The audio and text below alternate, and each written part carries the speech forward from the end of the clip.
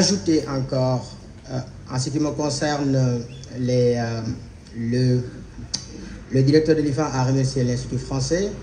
J'aimerais, j'ai oublié de nommer que pour l'Institut français, nous avons M. Laurent Viguier qui est là, le Conseil de coopération et d'action culturelle est par ailleurs directeur de l'Institut français du Sénégal. Et nous avons M. Laurent Montillier qui est là, directeur également de l'Institut français, et ma chère sœur Olivia Marceau du manège, donc qui est là. Euh, juste euh, préciser que l'exposition se passe dans le bâtiment historique, donc le premier bâtiment euh, que vous avez derrière vous. Je vous souhaite une très très bonne visite.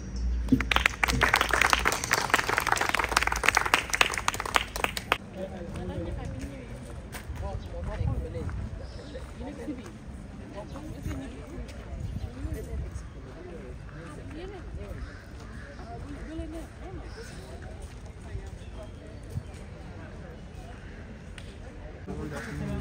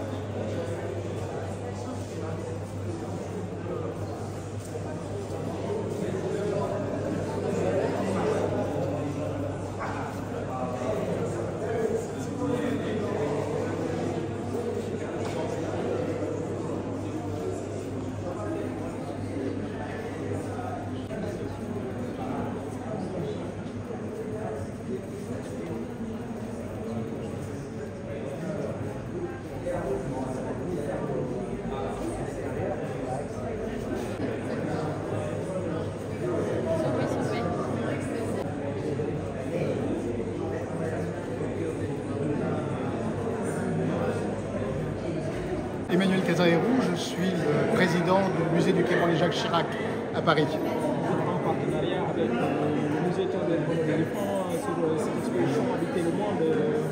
Absolument.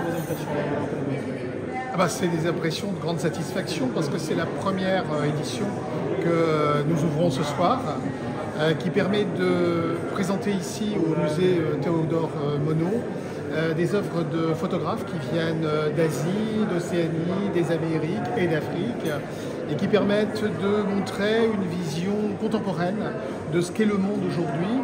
Et le titre de l'exposition, Habiter le monde, est un joli titre parce qu'il nous permet aussi de nous poser des questions sur notre propre manière d'habiter le monde, dans ses côtés lumineux, mais aussi dans ses côtés sombres, dans ses, dans ses ombres. Et c'est une euh, très grande satisfaction de voir cette exposition parce que c'est une première. C'est la première fois, je le disais aux, trois, aux trois commissaires qui sont Melken Diaye, le directeur du, musée Théodore Monod, euh, euh, le, euh, Annabelle Lacour et Christine Barthes qui, travaillent pour le musée du, Quai Branly. C'est la première fois que nous avons l'occasion de voir l'ensemble de ces œuvres présentées et de quelle manière, de manière magistrale. Je voudrais saluer aussi le travail et le soutien du directeur du musée de, de l'IFAN, le professeur qui est juste derrière moi, parce que sans sa, sans sa constance, sans sa, sa confiance, euh, on n'aurait pas pu réaliser cette exposition. Donc je suis extrêmement satisfait. Comment habiter le monde, pose la au monde admise, au monde... qui est fait de frontières aujourd'hui, euh, qui a peut-être toujours été fait de frontières, des frontières autrefois géographiques, aujourd'hui elles sont à la fois géographiques et politiques, et c'est donc une manière de s'interroger sur la manière dont nous, humains, aujourd'hui, euh, nous habitons le monde. Le professeur euh, euh qui euh, dirige l'IFAN nous a fait une belle, euh, une belle présentation, un, bel, un beau discours tout à l'heure justement sur l'espérance des paix qui nous, qui nous, qui nous lie tous et qui aussi peut se lire d'ailleurs toutes ces photos, même quand il y a probablement des tragédies, même quand il y a des tragédies, des tragédies présentes, des tragédies passées, il y a toujours un espoir qui nous ramène tous à, cette, à ce sentiment de famille. Nous sommes tous les habitants d'une même grande maison euh, qui est le monde et que nous essayons d'habiter quelquefois de manière maladroite, mais en tout cas, euh, et j'espère de plus en plus de manière fraternelle. C'est une exposition qui présente trois lauréats du prix pour la photo 2019 du Québec Jacques Chirac, qui sont présentés à Dakar en partenariat avec l'IFAN Cheikh. Donc il s'agit de trois artistes qui viennent euh, du Tchad pour ce qui concerne Abdoulaye Bari, du Népal pour ce qui concerne Pradit Chamit et euh, du Mexique pour ce qui concerne euh, Pablo Lopez Luz. Ces trois artistes ont des pratiques euh, très différentes mais qui convergent parce que Abdoulaye Bari est resté pendant des nuits entières avec des réfugiés fuyant Boko Haram qui s'éclairent la nuit avec des lampes torches des portables il ne peut pas passer la nuit dans les villages parce qu'ils sont attaqués la nuit, donc ils passent la nuit dans les, dans les champs. Euh, Francis Chapit, lui, euh, il, a, il est revenu euh, sur... Le, il est du Népal, il est revenu sur des guerres qui se sont déroulées dans ces zones-là pour voir les traces laissées par ces guerres et par ces formes de terrorisme sur les corps et les paysages.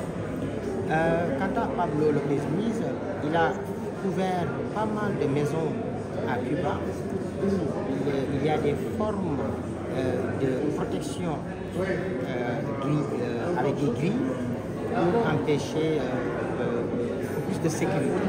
Donc, ça, c'est trois formes de création artistique. Nous avons imaginé un titre qui Habiter ce monde. Comment aujourd'hui on peut habiter ce monde? Un monde qui est fait de violence, de suprémacisme, de nationalisme, de terrorisme, euh, de guerre, tous azimuts. Et pourtant, c'est un monde qu'on peut habiter, euh, fait également de douceur et de raison, un monde qui appelle à plus d'amour de, et de compréhension mutuelle. Et, c'est la raison pour laquelle cette exposition est une fenêtre ouverte au dialogue euh, de manière globale. Et c'est une exposition également pour les artistes avec subtilité, avec également une certaine manière de voir des angles de lecture très divers, nous montrent que euh, le monde est un petit village, que tout simplement nous appartient euh, d'habiter de la manière la plus sereine. Et, et c'est la raison pour laquelle nous avons eu ce titre, Habiter ce monde, qui, qui, qui, est le prétexte pour réunir ces trois artistes.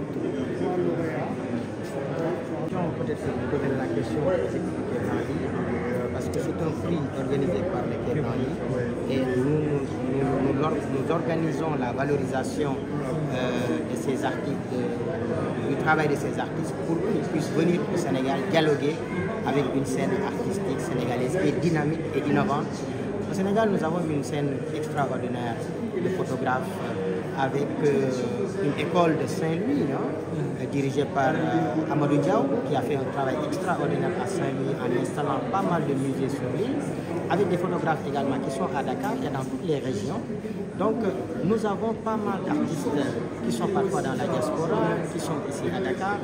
Et, et, et, toute cette scène-là fait un travail divers et varié mais un travail euh, emblématique à plusieurs titres et qui est un travail à encourager. Et c'est la raison pour laquelle on a pensé que ces trois artistes lauréats du prix pour la photo pouvaient venir et montrer leur travail également ici au Sénégal et avoir l'occasion le samedi 20 euh, janvier à 17h au musée Monod d'avoir une table ronde où on pourrait leur poser des questions. Ils pourraient également avoir le temps le vendredi de faire le tour des galeries, les musées, de rencontrer également la scène sénégalaise. Tout cela en fait participe de, de, de la connexion que nous pouvons faire entre plusieurs mondes pour revenir à ce titre, habiter ce monde. Euh, c'est le travail de Diffan, c'est le travail du musée Théodore Monod de Diffan également. L'expo est le 19 janvier et euh, se termine le 31 mars 2024.